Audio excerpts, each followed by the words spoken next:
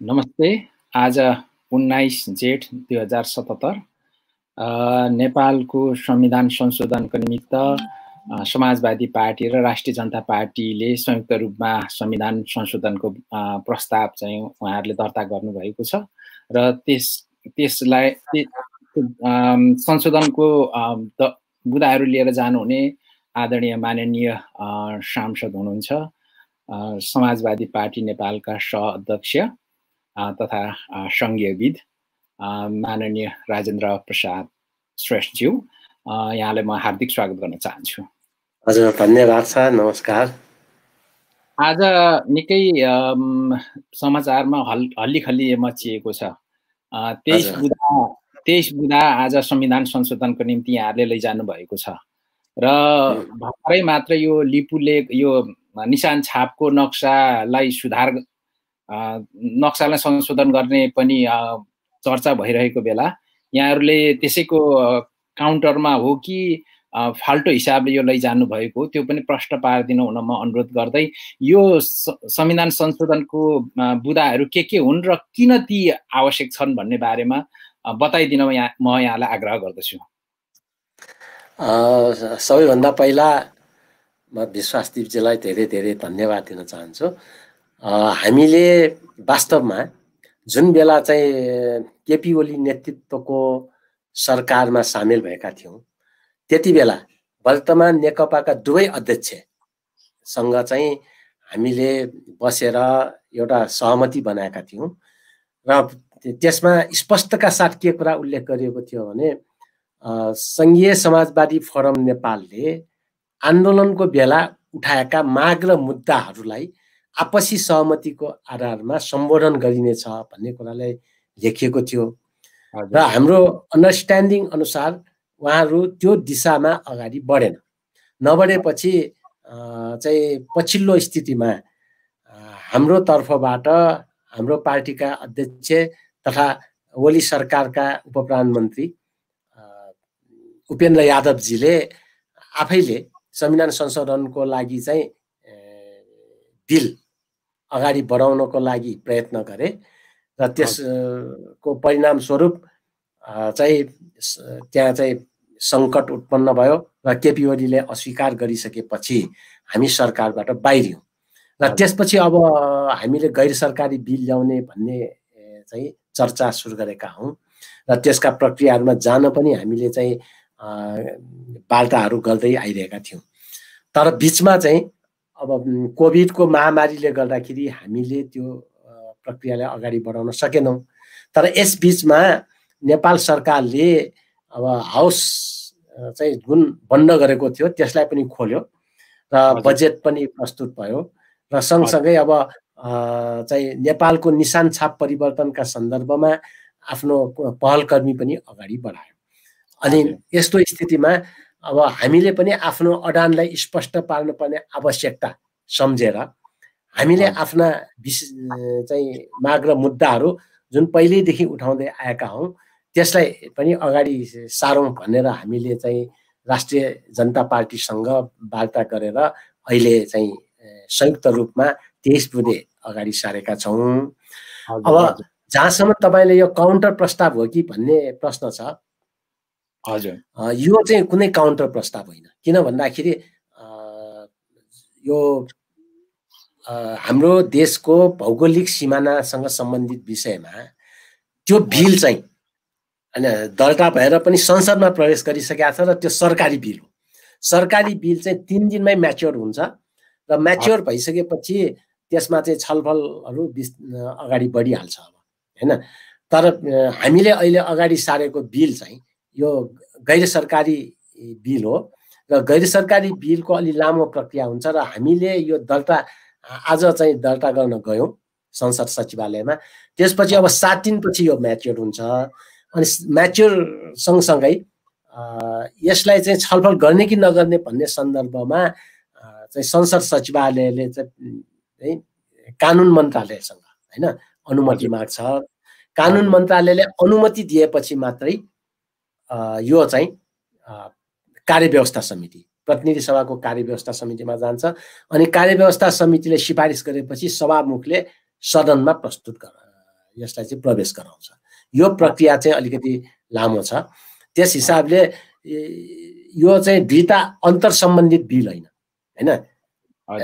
देशको चाहिँ राष्ट्रिय स्वाधीनता सार्वभौम सत्ता र भौगोलिक अखण्डतासँग सम्बन्धित बिल जुन चाहिँ अब नेपालले सुगौली सन्धिमा चाहिँ गुमाएको भूभागहरू त्यागिसकेपछि बाँकी भूभाग कुन कुनवटा भन्ने सन्दर्भमा काली नदीको पश्चिममा रहेको भन्ने शब्द छ होइन?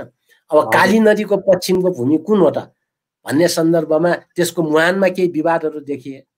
तर त्यसको मुहानको बारे वास्तवमा सुगौली सन्धिको लगत्तै प्रकाशन भएका म्यापहरूबाट प्रष्टै देखिन्छ। फेरि पनि एउटा अर्को पनि तथ्य छ कि लिम्पिया धुराको चाहिँ उच्च पहाडी भागमा त्यहाँ चाहिँ सौका होइन? ब्यासी जाति बस्छ। र ब्यासी भनेको भोटे समुदाय हो नेपालको। त्यो भोटे समुदायले बोल्ने भाषामा त्यो ठाउँलाई कुटियाङ्दी भन्ने गरेको छ होइन?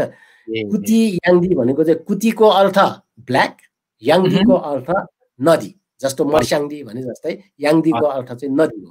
त्यस हिसाबले अब नामले नै कुटियाङ्दी भन्ने कुरा स्पष्ट भयो कुटियाङ्दी भनेकै काली नदी हो।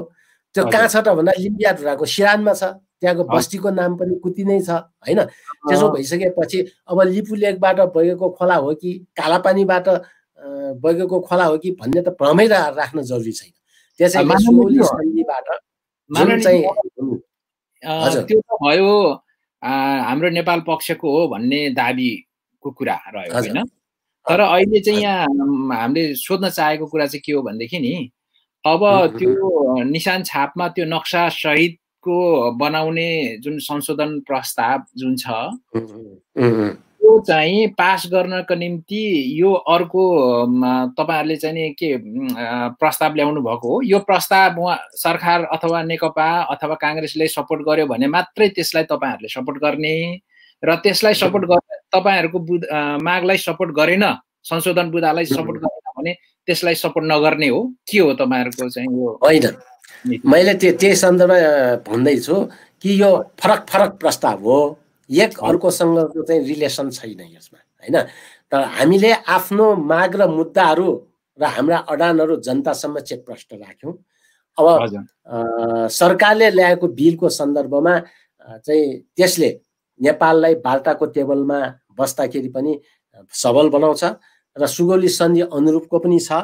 त्यस कारणले गर्दाखेरि हामीले त्यो प्रस्तावलाई जो नेपालको भूमि सम्बन्धी होइन? नेपालको वास्तविक नक्सालाई राखेर जुन निशान छाप ल्याएको छ त्यसलाई हाम्रो पार्टीले समर्थन गर्छ।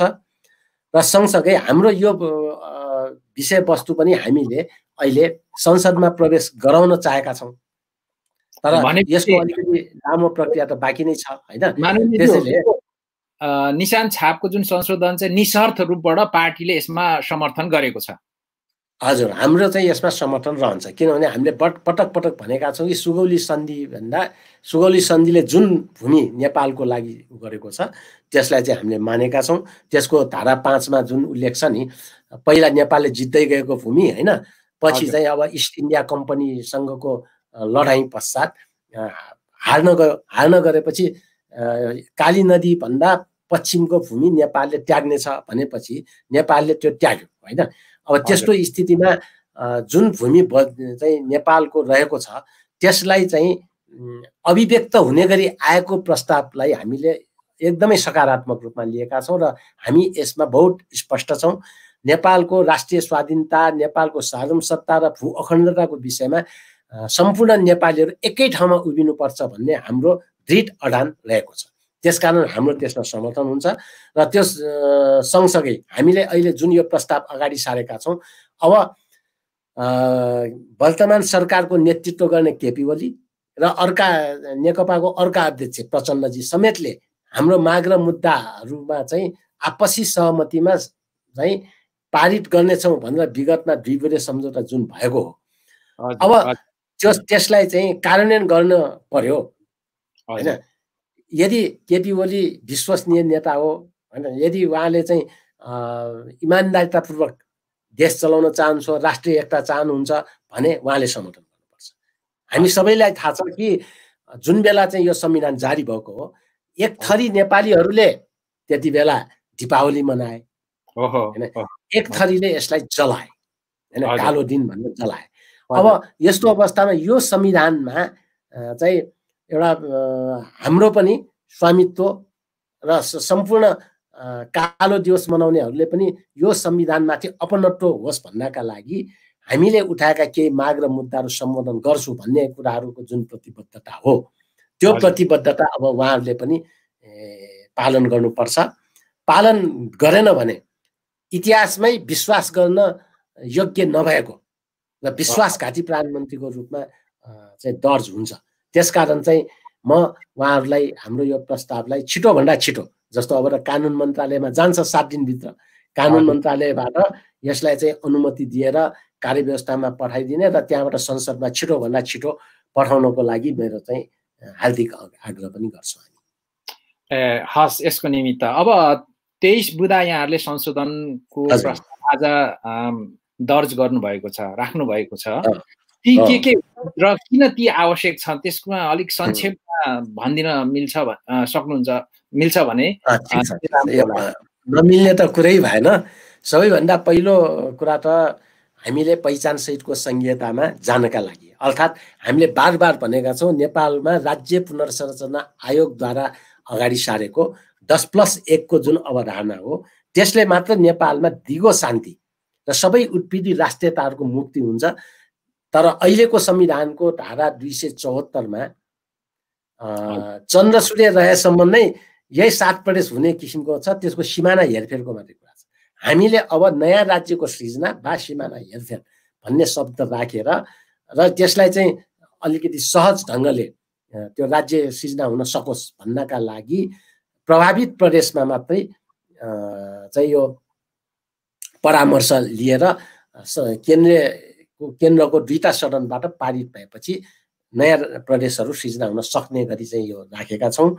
र यो चाहिँ वास्तवमा केपी ओलीजीसँग त्यति बेला भएको अन्डरस्ट्यान्डिङ पनि हो। यो अन्डरस्ट्यान्डिङलाई उहाँले पालन गर्छ कि गर्दैन भन्ने कुरा अब जाँच हुन्छ।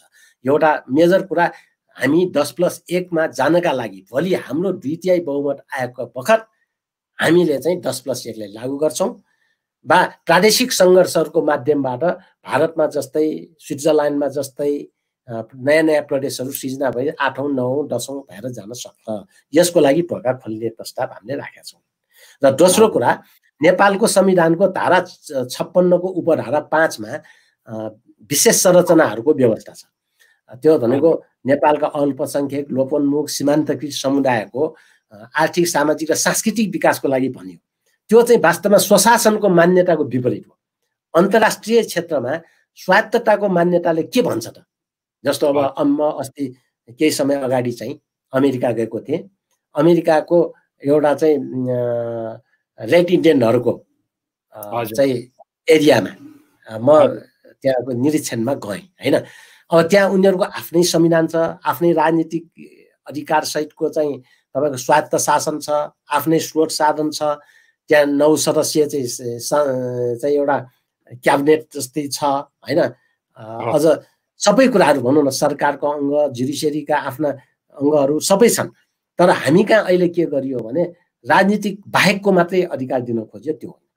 अब भारतमा पनि तपाईँको खासी स्वायत्त क्षेत्र होइन? त्यसरी नै अब अहिले गोर्खाल्यान्ड छ होइन? एउटा टेरि टेरिटोरियल अटोनोमी दिएको छ। अब त्यस्तै बोडोल्यान्डलाई पनि अटोनोमी दिएको छ। त्यहाँ राजनीतिक अधिकार सहितको शासन व्यवस्थाहरू हुन्छ त्यहाँ आर्थिक सामाजिक सांस्कृतिक विकास पनि त्यहाँका चुनिएका प्रतिनिधिहरूले गर्छन्। तर हाम्रो संविधानमा त्यस्तो गरिएन। त्यसैले हामीले वास्तवमै स्वशासन र स्वायत्तताको मान्यता अनुरूप विशेष संरचना बन्नुपर्छ भनेर स्वायत्त क्षेत्र संरक्षित क्षेत्र र गैर भौगोलिक विशेष क्षेत्रको रूपमा चाहिँ विशेष संरचनाहरू बन्नुपर्छ भन्ने मान्यतालाई पनि संशोधनमा राखेका छौँ र त्यसका लागि एउटा सङ्घीय आयोग गठन गरेर त्यसको सीमाङ्कनहरू अगाडि सार्नुपर्छ र त्यो कहाँ कहाँ चाहिँ स्वायत्त क्षेत्र गठन गर्ने कहाँ कहाँ संरक्षित क्षेत्र गठन गर्ने त्यो कुरा पनि त्यसमा राखेका छौँ। र तेस्रो कुरा प्रदेशको क्षेत्राधिकारहरू।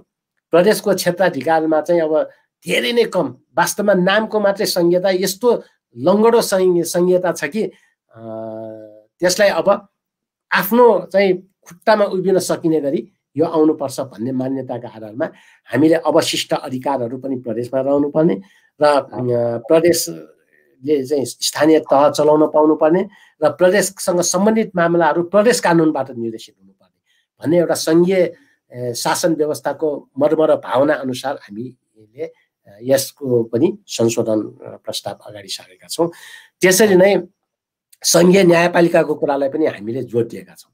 सङ्घीय न्यायपालिका किन भन्दाखेरि अब नेपालको अहिलेको संविधानले व्यवस्थापिका चाहिँ सङ्घीय व्यवस्थापिका कार्यपालिका पनि सङ्घीय कार्यपालिका तर न्यायपालिका चाहिँ इन्टिग्रेटेड भनेर चाहिँ एकात्मक न्यायपालिकाको त्यसलाई पनि अब सङ्घीय न्यायपालिकाको अवधारणा अनुसार चल्नुपर्छ भनेर संशोधन राखेका छौँ। र त्यसरी नै अर्को कुरा चाहिँ हामीले यो नेपालमा प्यारेलल अदालत। जसरी व्यवस्थापिका संसदभित्र तपाईँले देख्नुहुन्छ नि राष्ट्रिय सभा र प्रतिनिधि सभा प्यारेलल छ। त्यस्तै गरी यता पनि जुडिसियरीमा पनि एउटा सर्वोच्च अदालत होइन र अर्को चाहिँ संवैधानिक अदालत। संविधानसँग सम्बन्धित सन्धि सम्झौतासँग सम्बन्धित यस्ता विभिन्न मामलाहरूमा चाहिँ सङ् यो सर्वोच्च अदालतले होइन यता चाहिँ संवैधानिक अदालतले हेर्नुपर्छ। संवैधानिक अदालतमा अलग्गै प्राण न्यायाधीश हुनुपर्छ भन्ने मान्यतासहित हामीले चाहिँ यो संवैधानिक अदालतको अवधारणा अगाडि सारेका छौँ जस्तो यस्तो अदालतहरू अब स्विजरल्यान्ड लगायत धेरै धेरै देशहरूमा रहेको छ। यो संहितामा यस्तो चाहिँ आवश्यकता पनि पर्दछ। किनभने विभिन्न विवादहरू आएको हुन्छ होइन? संविधानसँग सम्बन्धित केन्द्र र प्रदेशको प्रदेश र स्थानीय तहको यी सबै कुरा हल गर्नका लागि त्यहाँ आवश्यक पर्छ भनेर हामीले यो विषय पनि त्यहाँ अगाडि सार्यौँ। अर्को कुरा हामीले उपसभामुखको अधिकार क्षेत्रलाई पनि हामीले अगाडि सार्यौँ। उपसभामुखको सन्दर्भमा अब हिजो देखियो होइन सभामुख चाहिँ निलम्बनमा परे त्यो अब उपसभामुखले चाहिँ अध्यक्षता गर्ने भए केही अधिकार छैन। हामीले के भन्यो भने अब सभामुखको अनुपस्थितिमा उपसभामुखले सभामुखको सबै अधिकारहरू प्रयोग गर्नु पाउनुपर्छ भन्ने कुरालाई पनि हामीले राख्यौँ। त्यसै नै राष्ट्रपति र उपराष्ट्रपतिमा हजुर। फरक लिङ्ग वा समुदाय भन्यो। लिङ्ग वा समुदाय भनेपछि राष्ट्रपति एउटा जातिको र उपराष्ट्रपति अर्को जातिको पनि हुन सक्ने भयो। एउटै जातिको भए पनि लिङ्ग फरक भए हुने भयो। यो हुनु हुँदैन। भनेर हामीले के भन्यो भने राष्ट्रपति र उपराष्ट्रपति फरक लिङ्ग लिङ्गको पनि हुनु पर्यो र जाति पनि फरक हुनु पर्यो। समुदाय पनि फरक समुदायको हुनु पर्यो। भन्ने कुरालाई पनि यो संशोधनमा अगाडि सारेका छौँ। र त्यसरी नै हामीले समानुपातिक समावेशीकरण नेपालका सबै राज्यका अङ्गहरू र निकायहरूमा सबै आयोगहरू होइन राजदूत नियुक्ति सबै क्षेत्रमा समानुपातिक समावेशीको व्यवस्था हुनुपर्छ भन्ने कुरालाई पनि हामीले त्यहाँ जोड दिएका छौँ। र त्यसरी नै वैवाहिक नागरिकताका सन्दर्भमा पुरानो पहिल्यैदेखि चाहिँ जे संवैधानिक र कानुनी व्यवस्था थियो त्यसलाई चाहिँ फेरि पनि कार्यान्वयन गर्नुपर्छ भन्ने आधारमा वैवाहिक नागरिकता सम्बन्धी कुरालाई पनि हामीले अगाडि सार्यौँ। र त्यसरी नै हामीले चाहिँ अब गोर्खा सैनिकको यसमा नि यो नागरिकता सभा जस्तो नेपालबाट इन्डियामा कुनै हाम्रो चेलीबेटी बिहा गरेर लगिसके पश्चात सात वर्ष पर्खेपछि मात्रै त्यहाँको सिटिजनसिपको लागि प्रक्रिया अगाडि बढ्दो रहेछ होइन? अनि इन्डियाबाट चाहिँ बिहाबारी गरेर नेपाल ल्याएको खण्डमा चाहिँ कति ड्युरेसनमा चाहिँ प्रक्रिया बढ्ने कस्तो खालको यहाँले चाहिँ एमेन्डमेन्ट हाल्नु भएको छ? त्यो अलिक प्रश्न बनाइदिनु अब भारत र नेपालको चाहिँ कैयौँ कुराहरूमा फरक छ होइन? साइज साइजमा मात्रै होइन। त्यहाँको चाहिँ अब सिस्टमदेखि लिएर होइन अरू अरू धेरै कुराहरूमा फरक छ। त्यहाँ त्यहाँको रेसिप्रोकल के केमा गर्ने? फेरि अब हामी भारतको छाया होइनौँ। होइन त्यस कारण उनीहरूको जस्तो नीति हुन्छ हाम्रो पनि त्यस्तै नीति हुनुपर्छ भन्ने छैन। र विवाह भन्ने कुरा कुनै राजनीतिक रूपमा सम्झौता होइन। विवाह भनेको सामाजिक सम्झौता हो र सामाजिक सम्झौतामा जबरजस्ती चाहिँ कसैले गर्दैन होइन? अब मेनली दुई त दुईजना पुरुष र महिला बिच आपसी समझदारी भएर नै बिहा हुने हो। त्यस त्यसलाई चाहिँ नेपालको राष्ट्रिय स्वाधीनता खतरामा पर्ने भन्ने ढङ्गले होइन बा चाहिँ यो राष्ट्रियता नै खतम हुने भन्ने विषयसँग विवाह जस्तो एउटा नितान्त व्यक्तिगत मामलालाई जोड्नु उपयुक्त हुन्न। त्यसैले हामीले पहिल्यैदेखि जे व्यवस्था कायम छ उतापट्टिको नागरिकता त्यागेपछि यता पाउने व्यवस्था जुन छ त्यसैलाई चाहिँ हामीले कन्टिन्युटी गर्नुपर्छ भन्ने कुराहरू अगाडि सारेका छौँ। र अहिलेको सन्दर्भमा फेरि भारतमा के छ भने रासन सा खास गरी चाहिँ त्यहाँ नागरिकता धेरैले लिनै पर्दैन। प्रमुख पदहरूमा चुनाव लड्नलाई बाहेक नागरिकतै चाहिँदैन कि त्यहाँ? त्यहाँ त सबै कुराहरू चाहिँ आधार पत्रको आधारमा काम हुन्छ। अब नेपालमा चाहिँ हरेक कुराहरू एउटा लाइसेन्स लिन पनि तपाईँको नागरिकता चाहिने होइन?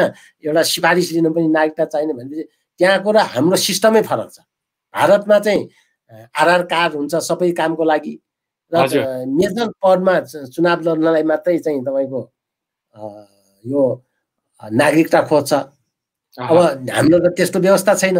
त्यसैले त्यहाँको र हाम्रो चाहिँ सबै कुराहरू तुलना गर्न उपयुक्त हुन्न। त्यस हिसाबले हामीले त्यो भन्यौँ होइन? अनि नागरिकताकै अर्को प्रसङ्गमा हामीले संविधानको धारा चौधमा जुन एनआरएनको अर्थात् चाहिँ गैर आवासीय नेपालीहरूले राजनीतिक अधिकार बाहेकको सामाजिक आर्थिक र सांस्कृतिक अधिकार पाउने गरी सार्क मुलुक बाहेकका देशमा बसेका नेपालीहरूले पनि चाहिँ एउटा अर्कै किसिमको नागरिकता होइन? यो गैर आवासीय नागरिकता पाउने भन्ने व्यवस्था थियो। तर त्यो कुराले गर्दाखेरि नेपाल र मित्र राष्ट्रहरू बिच जुन चाहिँ सम्झौता छ नि गोर्खाभर्ती सम्झौता लगायतका विभिन्न खालका सम्झौता हुन्छन् त्यो सम्झौताको आधारमा विदेशी सेनामा भर्ना भएका नेपाली नागरिकहरूले त्यहाँको चाहिँ अब वस्तुगत स्थिति अनुसार त्यहाँ बसुन्जेल चाहिँ त्यहाँको चाहिँ सबै काम कारवाही अगाडि बढाउन त्यहाँको नागरिकता लिएको हुन्छ। त्यसैले त्यो नागरिकता लिए पनि जबसम्म उहाँले त्यागेको हुँदैन। नेपालबाट सम्झौता गरेर गएको हो। नेपालले त्यसको रोयल्टी लिएको हुन्छ होइन? त्यस कारणले गर्दाखेरि हामीले चाहिँ दोहोरो नागरिकता हुनुपर्छ भन्ने कुरालाई अगाडि सारेका छौँ र ब्रिटिस गोर्खाको हकमा स्पष्टका साथ विदेशको नागरिकता लिएको भए पनि निजहरूको नेपाली नागरिकतालाई निरन्तरता दिइनेछ भन्ने चाहिँ धारा चौधमा प्रोभाइज हो। होइन? त्यसको प्रतिबन्धात्मक वाक्य चाहिँ त्यसरी राखेका छौँ। त्यसैले अरूले चाहिँ त्यहाँ एनआरएनको नागरिकता पाउने हो। ब्रिटिस गोर्खाको हकमा पुरानो जे नागरिकता छ त्यही निरन्तरता हुने। अब यो चाहिँ दोहोरो नागरिकता नै हो। ब्रिटेनमा बस्नेले ब्रिटेनको नागरिकता लिएको छ भने पनि ऊ ऊ त नेपाल र ब्रिटेन बिचको चाहिँ सम्झौताबाट त्यहाँ काम गर्न गएका हुन्। त्यसैले चाहिँ हामीले त्यस्तो स्थितिमा चाहिँ दोहोरो नागरिकता नै हुनुपर्ने कुरालाई स्पष्टका साथ बोलेका छौँ। र यो चाहिँ सायद हाम्रो पार्टीले मात्रै यो कुराहरूलाई स्पष्ट अगाडि सारेको छ भुपु गोर्खाहरूको निम्ति योभन्दा ठुलो खबर खुसी अरू केही नहोला। यद्यपि अब यो प्रस्तावको रूपमा मात्रै गयो अब यो पारित हुन सके त धेरै राम्रो। यसै गरी तेइसवटा बुदामा झन्डै यहाँले पाँच छ सातवटा जस्तो भनिसक्नुभयो अरू हजुर हजुर। अब त्यसपछि भाषाको छ बहुभाषिक नीतिको कुरालाई पनि हामीले अगाडि सारेका छौँ।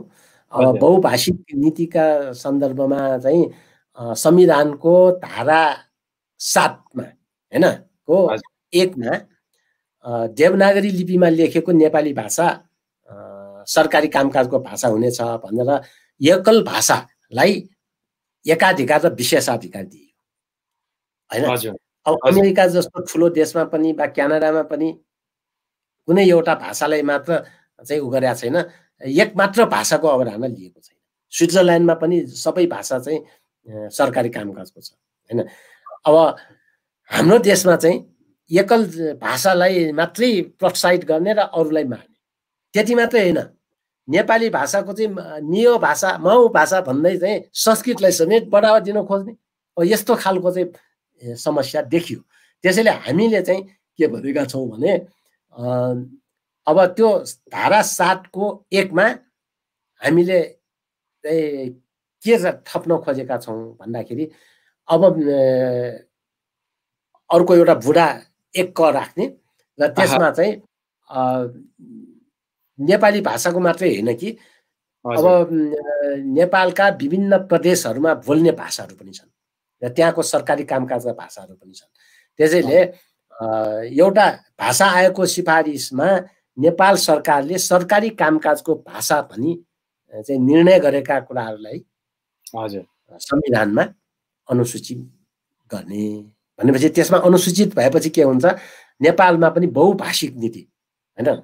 केन्द्रमै बहुभाषिक नीति आउँछ भन्ने चाहिँ राखेका छौँ र नेपालमा बोलिने सबै मातृभाषाहरूलाई पनि हामीले चाहिँ यो उसमा राख्नुपर्छ भनेका छौँ। माननीय यो भारतको संविधानमा पनि यो भाषाहरूको गरेको रहेछ होइन? भने चाहिँ अब त्यही खालको चाहिँ प्रस्ताव मिल्दो जुल्दो हुन्छ हजुर। लगभग लगभग त्यहाँ आठौँ अनुसूची राखे जस्तै हाम्रो पनि यसमा सबै भाषाहरू अनुसूचित गर्नुपर्छ। एउटा मातृभाषाको अनुसूची होइन? सबै मातृभाषाको धारा छमा र धारा सातमा चाहिँ सङ्घीय तहमा प्रयोग हुने भाषाहरूको अनुसूची। त्यसरी चाहिँ राख्नुपर्छ भन्ने कुराले हामीले क्लियर गरेका छौँ। हजुर। अरू बाँकी के के राख्नुभयो? माननीयज्यू त्यो पनि राखिदिनु अब त्यसपछि अब एउटा चाहिँ समानुपातिक समावेशीकरणको कुराहरूलाई मैले अघि पनि थोरै त भनिसकेको छु। त्यसमा धारा अडतिसको व्यवस्था छ। जसमा चाहिँ अब महिलाहरूको सन्दर्भमा जो अब लगभग लगभग विभिन्न ठाउँमा तेत्तिस पर्सेन्टदेखि पचास प्रतिशतसम्म महिलाहरूको प्रतिनिधित्व हुने व्यवस्था अहिलेको संविधानमा आइसक्यो होइन? स्थानीय तहमा चालिस प्रतिशत आइसक्यो। तर महिला भएपछि यो एउटै जातिको महिला जान सक्ने भइरहेछ कि अहिले? महिलाको नाममा एउटै अब हामीले चाहिँ त्यसमा के भन्यो भने त्यसरी होइन। विभिन्न क्लस्टर अनुसार विभिन्न समुदायको जातीय जनसङ्ख्याको आधारमा महिलाको पनि प्रतिनिधित्व त्यसरी जानुपर्छ जस्तो आदिवासी जनजाति मधेसी खस आर्य शिल्पी होइन सबैको चाहिँ समानुपातिक ढङ्गले महिलामा पनि जानुपर्छ भन्ने कुरालाई पनि हामीले स्पष्ट पारेका छौँ। र त्यसरी नै राजदूतको नियुक्तिदेखि लिएर तपाईँको सबै संवैधानिक आयोगहरूमा पनि त्यसरी समानुपातिक समावेशी हुनुपर्ने भन्ने कुराले राखेका छौँ। अर्को चाहिँ कुरा राष्ट्रिय सभाको चाहिँ संरचना। हजुर। नेपालको राष्ट्रिय सभाको संरचना चाहिँ एउटा एक किसिमको छ। हामीले त्यसमा के गर्यौँ भने तिनजना चाहिँ एक महिला एक शिल्पी वा दलित र चाहिँ एउटा चाहिँ अल्पसङ्ख्यक होइन? त्यो तिनजना त्यसरी राख्ने। त्यस बाहेकको चाहिँ त्यहाँको सामुदायिक जनसङ्ख्याको आधारमा प्रतिनिधित्व गर्ने गरी चाहिँ त्यो राष्ट्रिय सभामा चाहिँ एक किसिमको हाउस अफ नेसनालिटिज भन्छ नि जातीय सभाको रूपमा।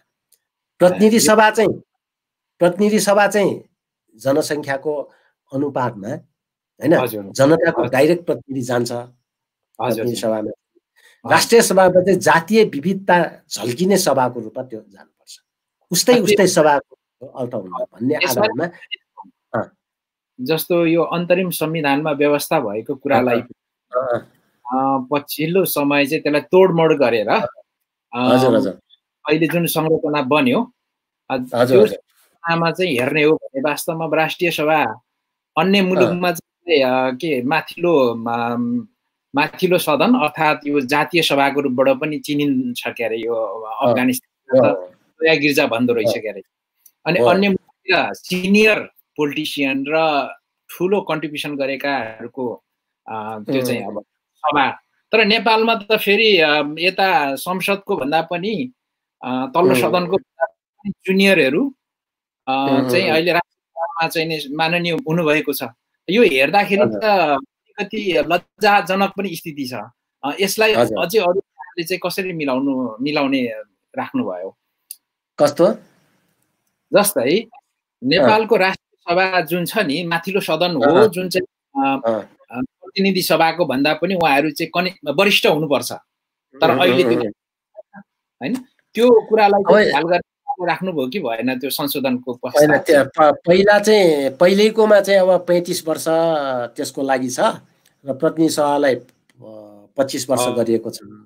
यो चाहिँ एकात्मक राज्यमा हुने मान्यता हो। हजुर। जस्तो बेलायतमा होइन? अब त्यहाँ चाहिँ अब वेस्ट मिनिस्टर पार्लियामेन्टले जे गर्यो त्यही हुन्छ। तर पनि त्यहाँ फेरि अधिकार चाहिँ एकात्मक भए पनि स्वशासन र स्वायत्तताको त संसारकै नमुना हो होइन? जस्तो अब छुट्टी नपाउनेसम्म अधिकार दिएको होइन? कतिपय सङ्घीय राज्यमा भन्दा एकात्मक भए पनि बेलायतमा निकै धेरै अधिकार देखिन्छ। तथापि त्यहाँ त्यहाँको सिस्टम सङ्घीय व्यवस्थामा हुँदैन होइन? सङ्घीय व्यवस्थामा चाहिँ अप्पर हाउस र लोवर हाउसको कन्सेप्ट छैन। जस्तो बेलायतमा के छ भने अब भालदारहरूको सभाको रूपमा होइन त्यसलाई चाहिँ एकदम हाउस अफ लर्ड्स भनियो त्यति बेला। र जनताको सभालाई चाहिँ कमनहरूको सर्वसाधारणको भने हाउस अफ कमन्स भन्यो होइन? अब त्यो अवधारणामा जानु हुँदैन भनेर हामी हामीले चाहिँ सिनेट प्रणालीलाई सपोर्ट गरेका छौँ। सिनेट प्रणाली भन्नाले दुवै हाउस प्यारल जस्तो अमेरिकामा तपाईँको चाहिँ सिनेटलाई आफ्नो कार्यक्षेत्रभित्र विशेषाधिकारहरू रहेको छ। किनभने त्यो चाहिँ हाउस अफ स्टेट्स हो। त्यहाँका पचासवटा स्टेटबाट ठुला होस् वा साना होस् समान ढङ्गले गएको हुन्छ र त्यो चाहिँ अनि त्यसलाई विशेषाधिकारहरू सिमानाका मामलामा राज्यको अधिकारका मामलामा भाषाका अनेकौँ मामलाहरूमा त्यसलाई चाहिँ विशेषाधिकार हुन्छ। तर प्रतिनिधि सभाको हकमा चाहिँ त्यहाँ चाहिँ अर्थ विधेयकहरूलाई विशेषाधिकार हुन्छ। र दुवै हाउस प्यारेल समानान्तर हाउस हुन् माथिल्लो र तल्लो होइन। र हामीले पनि यो प्यारेल हाउसकै अवधारणामा जानुपर्छ। यसलाई अब अलिकति हामीले चाहिँ अब नेपाल बहुभाषिक बहुजातीय मुलुक भएको र नेपालमा चाहिँ यो जुन साइज छ यो साइजलाई हेर्दाखेरि धेरै जाति समुदाय पनि भएको हुँदाखेरि जातीय विविधता पनि झल्किनुपर्छ त्यहाँ भन्ने आधारमा पनि हामीले अलि हाउस अफ नेसनालिटिजको अवधारणालाई समेत मिक्स गरेर सिनेट प्रणाली र हाउस अफ नेसनालिटिजको अवधारणालाई मिक्स गरेर अगाडि सारेका छौँ। त्यसले गर्दा यो हाम्रो चाहिँ बिल्कुल नेपालको सन्दर्भमा मौलिक ढङ्गको सिस्टम हामीले अगाडि सारेको भयो होइन। हजुर। हजुर त्यस्तै गरी अरू अब केही कुन कुन बुदा बाँकी रह्यो त्यो पनि भन्नुहोस् माननीय अब मैले धेरै कुराहरू त त्यहाँ स्पष्ट पारिसकेकै छु होइन?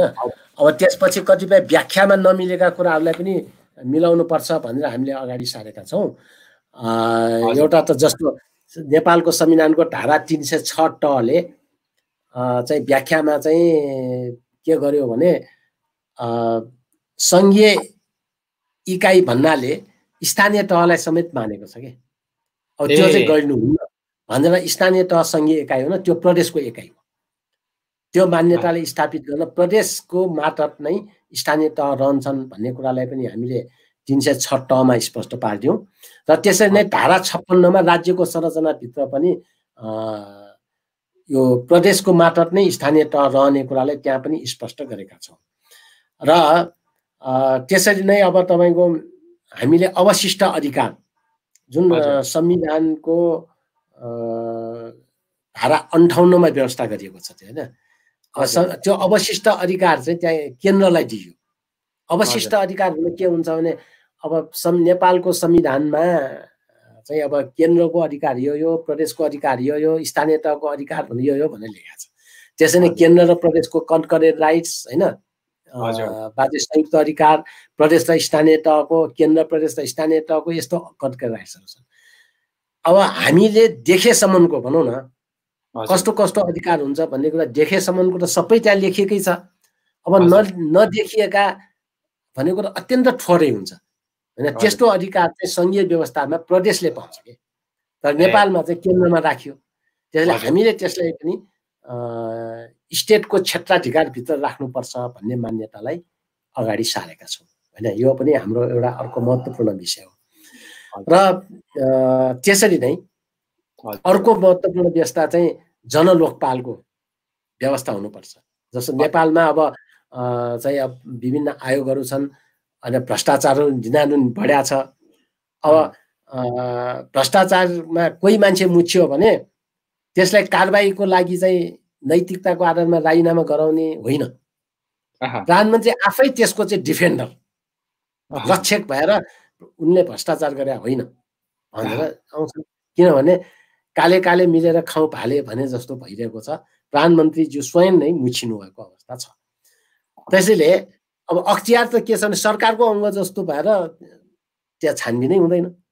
होइन? त्यसैले हामीले होइन त? प्रत्येक पार्टी एकजना अख्तियारमा आयुक्तहरू हुनुहुन्छ। पार्टीगत रूपमा बाँडफाँड हुने त्यस्तो स्थिति छ। त्यसले गर्दा त्यसो नहोस् भन्नको लागि हामीले चाहिँ अहिले के भनेका छौँ भने अख्तियार दुरुपयोग अनुसन्धान आयोगलाई समेत छानबिन गर्न सक्ने। प्रधानमन्त्री मन्त्री सांसद होइन विभिन्न उच्च परस्थ उनीहरूले गरेको कुरालाई पनि निगरानी राख्नका लागि एउटा अलग्गै निकायको रूपमा चाहिँ शक्तिशाली लोकपाल होस्। र त्यसले चाहिँ भ्रष्टाचार जन्य क्रियाकलापहरूको छानबिन गरेर कारवाही गर्न सकोस्। त्यसको लागि सम्बन्धित अदालतमा मुद्दा चलाउन सकोस् भन्ने हिसाबले जनलोकपालको व्यवस्थालाई पनि विविधमा राखेका छौँ।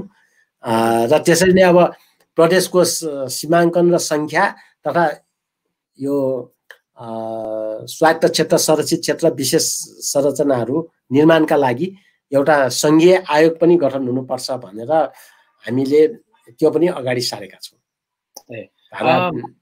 यसमा नि अब सामान्यतया कति कुन कुन कुराहरू तपाईँहरूले समेट्नु भन्ने कुरो समेट्नु भयो भन्ने कुरा त यहाँले जानकारी गराउनु भयो। एउटा सोध्न मन लागेको कुरा नि विशेष गरेर दुई पहिलो नम्बर कुरो योभन्दा अगाडि यसरी दर्ता किन गर्नु भएन र किन त्यो सम्भव भएन? एक है। दोस्रो मेरो प्रश्न चाहिँ ल तपाईँहरूले यो राख्नुभएको संशोधन प्रस्ताव पारित भयो। देखिलाई राजनीतिक संरचना पनि परिवर्तन हुन्छ कि? यो कुरामा अलिकति प्रष्ट बनाइदिनुहोस् न। अब यो किन राखियो कस्तो परिस्थितिमा राखियो भन्ने कुरा त म मैले सबैभन्दा सुरुमै स्पष्ट पारिसकेको छु कि अब लकडाउनको स्थिति विविध कारणले गर्दा हामीले त्यसलाई चाहिँ समयमै गैर सरकारी बिल ल्याएनौँ। हामी सरकारमा छँदै ल्याउनको लागि होइन हाम्रो तर्फबाट सरकारमा प्रतिनिधित्व गर्ने उप प्रधानमन्त्रीज्यूले प्रयत्न गरेकै हो। त्यो सबैलाई जग जाहेर छ। त्यो प्रयत्नलाई अवरोध गरेपछि हामीले राजीनामा गरेको पनि सबैलाई थाहा छ र राजीनामा गरिसकेपछि हाम्रो आफ्नो एजेन्डा अब हामी अगाडि बढाउँछौँ भनेर यो समयमा लकडाउनकै अवधिमा पनि यहाँ अब हाउस खुलेपछि हामीले पनि हाउसमा त्यसलाई इन्ट्रोड्युस गरायौँ। र यसलाई चाहिँ एउटा स्वतन्त्र विधेयकको रूपमा होइन? एउटा गैर सरकारी विधेयकको रूपमा अगाडि सारेको हो। अब यसलाई चाहिँ विगतमा भएको सहमति अनुसार यसभित्र पनि हामी सम्झौता गरेर सहमति गरेर अगाडि बढ्न तयारी छौँ। त्यसकारण वर्तमान प्रधानमन्त्रीज्यूलाई हामी सरकारमा सामेल भएको बखत जे जस्तो सहमति भएको हो होइन? त्यो सहमतिलाई चाहिँ कार्यान्वयन गर्नका लागि हामीले अनुरोध गरेका छौँ र नेपाली कङ्ग्रेसलाई पनि हामीले अनुरोध गरेका छौँ र अब मलाई के विश्वास छ भने अब छिटोभन्दा छिटो अब यसलाई चाहिँ सरकारले अनुमति दिनुपर्छ होइन? उहाँले दिनेछ अब भन्ने कुरामा म विश्वस्त छु। हस् माननीयज्यू महत्त्वपूर्ण कुरा राखिदिनु भयो एकदमै व्यस्त समयमा पनि यहाँले समय दिनुभयो। यसको निम्ति धन्यवाद दिँदै। आज हामी यो कार्यक्रम यो वार्तालापबाट छुट्नुभन्दा अगाडि केही यहाँले छुटेको कुरा भन्नु छ भने कृपया राखिदिनु होला र त्यस पश्चात हामी चाहिँ बिदा हुन्छौँ। अब हामीले आज प्रस्तुत गरेको विधेयकको सन्दर्भमा कुनै भ्रम रहनुहुन्न र मैले अघि पनि स्पष्ट पारेको छु र अहिले बजारमा चाहिँ यो जुन निशान छापलाई चाहिँ को प्रस्तावलाई छेक्नका लागि पो यो आयो भन्ने खालका कुराहरू गरेका छन् होइन? त्यस्तो भ्रम फैलाउने प्रयत्न भइरहेछ। हामी बहुत प्रष्ट छौँ कि हाम्रो पार्टीले त्यसलाई चाहिँ समर्थन गर्छ भन्ने कुरा मैले अघि पनि स्पष्ट पारिसकेको छु। र यसको र त्यस यो दुइटाको बिचमा कुनै साइनो छैन। यो यो स्वतन्त्र विधेयक हो यो गैर सरकारी विधेयक हो त्यो सरकारी विधेयक हो र त्यस त्यो चाहिँ हाउसमा प्रवेशै भइसकेको छ। यो प्रवेश हुन पनि अझै केही दिन लाग्छ हाउसमा होइन? अहिले त हामीले संसद सचिवालयमा दिएका छौँ। त्यसैले चाहिँ अब यो चाहिँ सरकारले चाहिँ अब हेरेर सरकारले वके गर्नुपर्छ। सरकारले वके गरेपछि मात्रै कार्यव्यवस्था जान्छ। कार्यव्यवस्थाबाट पनि वके भएर सिफारिस गरेपछि मात्रै यो हाउसमा प्रवेश हुने हो। त्यसकारण चाहिँ यो हाउसमा प्रवेश हुने बखतसम्म त्यो त्यो चाहिँ पारिटै भइसकेको हुन्छ। यस्तो भएकोले यो चाहिँ निशान छापको विकल्पमा ल्याइएको प्रस्ताव भनेर कतिपयले हल्ला गरे जस्तो त्यो होइन। कसैका त्यस्तो किसिमको चाहिँ मनसाय छ भने पनि म बिल्कुल आउटराइट रिजेक्ट गर्न चाहन्छु र खण्डन गर्न चाहन्छु। हाम्रो पार्टी एकदमै देशभक्तिको भावनाले ओतप्रोत भएको र साँचो अर्थमा नेपाल जस्तो बहुराष्ट्रिय मुलुकमा। होइन? सङ्घीयता नै राष्ट्रिय एकताको मुख्य आधार हो भन्ने मान्यता राखेर। देशमा नयाँ आधारमा जुन चाहिँ पृथ्वीनारायण शाहले राज्य विस्तार गरेपछि चाहिँ कोही कसैको जय कसैको पराजय भयो भन्ने मानसिकताले यो देश चलिरहेको अवस्था छ। अझ केपी ओली आइसकेपछि वा वर्तमान प्रधानमन्त्री आइसकेपछि त बराबर त्यो झझलको दिने गरी मानव कि पृथ्वीनारायण शाहको आत्मा नै केपी ओलीमा छ जस्तो गरी उहाँले चाहिँ घरिघरि चाहिँ कहिले चन्द्रागिरी डाँडा जानुहुन्छ यही डाँडाबाट चाहिँ हो। हेरेको पृथ्वीनारायण शाहले का चाहिँ नेपाल कब्जा गर्ने उचित लागेको। त्यस कारण यहाँ चाहिँ यस्तो औँला खड्याएको दारी उछिएको ऊ राख्नुपर्छ भनेर चाहिँ घाउमा नुन छप्ने गरेको छ कहिले केपी ओलीजीले चाहिँ के भन्नु के गरिराख्नुहुन्छ? हो पृथ्वीनारायण शाहले एकीकरण गरेको बेला हिँडेको ऊ हिँडेको बाटोको चाहिँ एउटा एकीकरण ट्रेल बनाउने भनेर चाहिँ फेरि फेरि पनि बिउजाइरहेको हुन्छ होइन? हामी यस्तो हामी विगतमा भएका होइन नरसंहारहरू होइन जस्तो खालका चाहिँ क्रियाकलापहरू भए होइन अब त्यो कुरामा चाहिँ नयाँ ढङ्गले हेर्नुपर्छ भन्छु। जस्तो जर्मनमा पनि युद्ध भएको बेला होइन कतिपय हिंसाहरू भए। तर हामी सबैलाई थाहा छ। हजुर। त्यहाँ तिन वर्षमै अठार सय सडसठीमा त्यहाँ चाहिँ जर्मनको एकीकरण हुँदा चाहिँ जे कुराहरू घटना घटे त्यसको तिन वर्षपछि नै त्यहाँ चाहिँ सङ्घीय शासन व्यवस्था लागु गरेर ल हिजोको भुलौँ। हामी मिलेर चाहिँ अब सङ्घीयतामा बाँड्यौँ भनेर चाहिँ सङ्घीय राज्यलाई मजबुत पार्यो। त्यहाँ तिन वर्षको कुरालाई नेपालमा दुई सय पचास वर्ष हामीले चाहिँ लड्नु पर्यो। जर्मनको तिन वर्ष। अमेरिका जस्तो देशमा तपाईँहरूलाई थाहा छ हवाईमा कन्का माओली त्यहाँको आदिवासी समुदायको नरसंहार होइन त्यो रणनीतिक महत्त्वको भनेर हवाईलाई चाहिँ अमेरिकाले कब्जा गरे। सन् अठार सय अन्ठानब्बेमा। अनि त्यसको शतवार्षिकीको उपलक्ष्यमा बिल क्लिन्टन चाहिँ हवाई गएको थियो। त्यहाँ जाँदाखेरि त्यहाँका कन्का माओली आदिवासीहरूले छोरीले हजुर। प्ले कार्ड प्रदर्शन गरे अनि बिल क्लिन्टनले सोधेछन् त्यो के को प्ले कार्ड हो? भन्दाखेरि होइन हामीलाई चाहिँ हवाई आक्रमण गर्दाखेरि जस्तो खालको समस्या आएको हो। होइन अब त्यसको चाहिँ क्षतिपूर्ति हुनु पर्यो। हामी हामीलाई चाहिँ गरेको दमन चाहिँ अब माफी माग्नुपर्छ। अनि बिल क्लिन्टनले उन्नाइस सय अन्ठानब्बेमा हजुर। जब त्यहाँ मञ्चमा गएर बोले सबैभन्दा पहिला नै उहाँले के भन्नुभयो भने म हाम्रो पुर्खाको तर्फबाट यो हवाईलाई चाहिँ लिएको बेला जस्तो खालको चाहिँ गल्ती कमजोरी भए म हाम्रो पुर्खाको तर्फबाट माफी माग्छु। होइन? माफी मागेर हजुर। बिल क्लिन्टन चाहिँ साना भएन। होइन? एउटा चाहिँ के भने राष्ट्रिय एकताका लागि चाहिँ उनीहरूले चाहिँ त्यो भने। तर हामी कहाँ त के भन्छन् भने युद्ध हो मारिन्छ। होइन? अब आजको दिनमा भएको भए त पृथ्वीनारायण शाहले त हेगमा मुद्दा लाग्थ्यो। किनभने मानिसहरू पूर्ण रूपमा चाहिँ तपाईँको चाडपर्व मनाइरहेको अवस्था थियो। होइन? पुरा चाहिँ आफ्नो चाडपर्व लगाएर रमाइलो गरेर गइरहेको बेला आक्रमण गरियो। हजुर। होइन? त्यो पनि तिनतिरबाट गरेर त्यस्तै चाहिँ अब नाइटको समय पनि पारियो। अनि त्यति मात्रै गरिएन। होइन? अनि त्यसपछि भएका नासल चोकमा ठुला चाहिँ काण्डहरू भए। होइन? हत्याकाण्डहरू भए। कोही पनि पुरुषहरूलाई बाँकी नराख्ने गरी तत्कालीन कान्तिपुरका चाहिँ मल्लका सन्तानहरू सबै मारिए। महिला र एकजना एकजना बच्चा पनि पा ललितपुरमा मामा घर गइरहेको भएर बचेको। होइन यस्तो किसिमको चाहिँ थियो। त त्यसमा चाहिँ वर्तमान शासकहरूले त के गर्नु पर्थ्यो भने वास्तवमा एकीकरणको बेला होइन? अब हामीले त राज्य विस्तार भन्छौँ। किनभने एकीकरण भनेर जर्मनको इस्ट जर्मनलाई वेस्ट जर्मन जस्तो चाहिँ स्वेच्छामा हुने कुरा हो। होइन? त्यो हामी त्यस कारण त्यसलाई राज्य विस्तार भन्छौँ। तर ल उहाँहरूले भने जस्तो एकीकरणै भयो भने पनि अब एउटा नयाँ मुलुक त छ नि त। यसलाई त हामीले पनि स्वीकारेका छौँ। आज जुनसुकै कारणले भए पनि हामी मेचीदेखि महाकालीको चाहिँ सम्पूर्ण व्यक्तिहरू नेपाली हौँ। हामीलाई यसको चाहिँ एकदम माया छ। हामी त्यसको एक इन्ची जमिन पनि अब मिच्न दिँदैनौँ। हामी सबै एकतामा बाँड्न चाहन्छौँ मेलमिलाप गर्न चाहन्छौँ।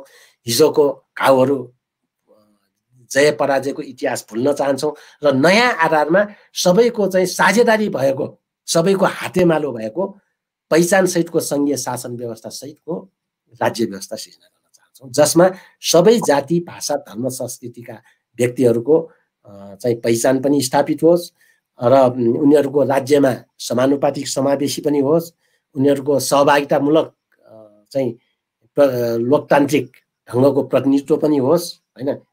त्यसका लागि हामीले भन्यौँ राष्ट्रिय एकताको मुख्य आधार नै सङ्घीयता हो। त्यसैले यो कुरालाई चाहिँ अगाडि सार्नु पर्नेमा त्यस्तो भइरहेको छैन र अहिले हामीले यो अगाडि सारेको जुन संविधान संशोधनको प्रस्ताव छ यो प्रस्ताव चाहिँ पारित भएमा होइन? नयाँ आधारमा नेपाल चाहिँ फेरि चाहिँ एउटा एकीकृत हुन्छ। पृथ्वीनारायण शाहले भौगोलिक रूपमा एकीकृत गरेको छ अब त्यसलाई चाहिँ भावनात्मक रूपले एकीकृत हुने वातावरण बनाऊ। अब यो राज्य विस्तारबाट सुरु भएको एउटा आधुनिक नेपाल हाम्रो काँधमा छ। यसलाई चाहिँ सुशासन र समृद्धिको माध्यमबाट चाहिँ जनताको सुख समृद्धि होइन मा अगाडि बढ्नु छ। र आजको चाहिँ युगमा संसारमा नेपाल भनेर जुन एउटा गर्व गर्वका साथ यसको शिर ठाडो गरेर बाँच्नु छ भने अब यो यसलाई चाहिँ सपोर्ट गरेर चाहिँ एउटा चाहिँ सबैले होइन यो संविधानमा स्वामित्व भोट गर्ने स्थिति आउनुपर्छ र त्यसको लागि चाहिँ मैले सम्पूर्ण होइन यो चाहिँ अन्तरबाट हेरिराख्ने जनसमुदायहरूलाई पनि सम्पूर्ण बुद्धिजीवीहरूलाई पनि हामीले अगाडि सारेको यो संविधान संशोधनको प्रस्तावलाई बा यसको पक्षमा जनमत सिर्जना गर्नको लागि पनि अनुरोध गर्दछु र हामीले यो सरकारले अगाडि सारेको निशान छाप परिवर्तनसँग सम्बन्धित नयाँ नक्सा सहितको निशान छापलाई समर्थन गर्ने र निशर्त समर्थन गरेर अगाडि बढ्ने कुराको पनि म जानकारी गराउन चाहन्छु। धन्यवाद छ। हस् माननीयज्यू यहाँले अति व्यस्त समयको बावजुद पनि समय दिनुभयो। यहाँलाई धेरै धेरै धन्यवाद। र फेरि फेरि यस्तै महत्त्वपूर्ण इभेन्टमा यहाँसँग भेट्ने बाचा गर्दै यहाँसँग बिदा लिनुभन्दा अगाडि यहाँ हुनुहुन्थ्यो राजेन्द्र प्रसाद श्रेष्ठ माननीय र उहाँ चाहिँ सह अध्यक्ष समाजवादी पार्टी नेपालका हुनुहुन्छ र यहाँलाई पुनः धन्यवाद दिँदै अहिले बिदा हुन चाहन्छु धन्यवाद। ल नमस्कार धन्यवाद सबैलाई।